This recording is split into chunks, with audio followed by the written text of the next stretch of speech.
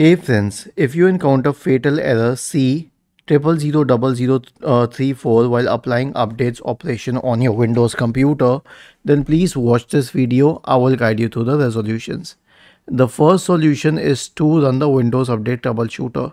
So right click on the start button and select settings from the menu. Go to the system tab on the list on the left hand side.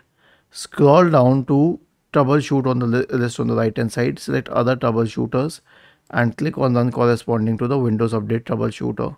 It will start detecting problems and fix them if possible. The next solution is to reset the Windows Update components. So we have a list here. All you need to do is press Ctrl plus A, copy all of them, and then uh, you can search for command prompt in the Windows search bar and click on run as administrator. Now paste it here. Once you have pasted it here, here's what you have to do. First, stop all services related to Windows updates. Then delete the uh, software distribution cat 2 folders. Delete the Windows Update Network profile. Re-register the DLLs.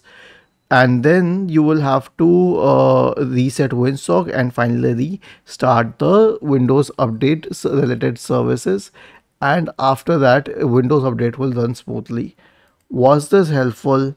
If yes, then please subscribe to the channel. And if not, then let us know in the comment section of the video on how we could help you further. Thank you for watching this video and have a nice day.